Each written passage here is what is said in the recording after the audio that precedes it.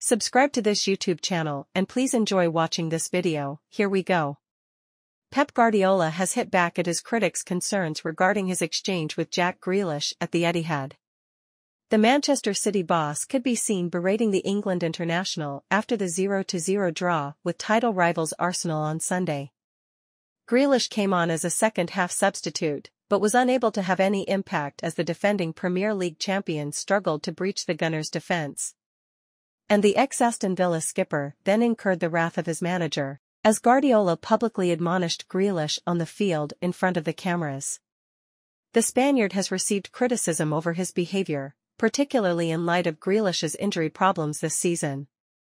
Guardiola has since responded with sarcasm when grilled about the incident in his post-match press conference. I do it for the cameras and my ego, he said, previewing his side's clash with Aston Villa. I'm the famous person of the team and I need the cameras on me to go to sleep with incredible satisfaction. I always try to criticize players there and let them know how bad they are. Especially when Erling, Haaland, scores three, cameras have to be on me. Grealish certainly appeared taken aback by Guardiola's lecture. It now remains to be seen whether the 28-year-old will get the nod to start against his former employers on Wednesday.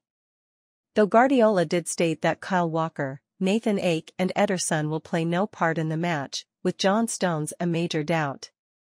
City currently sit third in the Premier League with 63 points, and know they cannot drop points against the Villains if they wish to win a historic fourth consecutive title. Unai Emery's men meanwhile are eyeing up a league double over City to boost their chances of a top four finish.